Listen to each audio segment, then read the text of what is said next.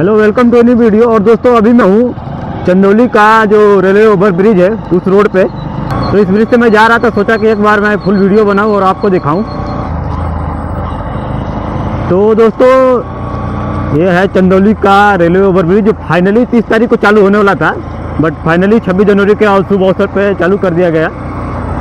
तो चंदौली वासी जो है ना, कि महेंद्र नाथ पांडे जी का शुक्रिया अदा करने के लिए बहुत बेसब्री से इंतज़ार कर रहे हैं। दोस्तों बहुत खूबसूरत लग रहा है ये ब्रिज वाकई में मानना पड़ेगा। और फोर व्हीलर वालों को टू व्हीलर वालों के लिए खोल दिया गया है फाइनली ये ब्रिज तो देख सकते हैं। और भाई ये ब्रिज को लेकर बीजेपी भी लाइक मैं झुकेगा नहीं साला।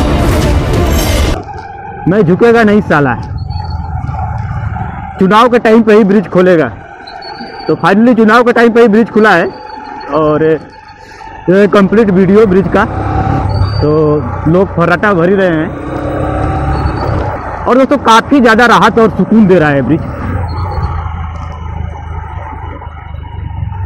ये देख सकते हैं, सामने। ये लगा दिया गया कि ताकि भारी वाहन जो है, ट्रक वगैरह वो अभी ना आए इस पर। बाकी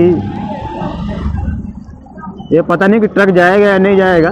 ये लगा दिया गया है कि ट्रक ना आए। तो दोस्तों, ये रात चंदौली ब्रिज का वीडियो। और वीडियो पसंद आए तो please do subscribe my channel.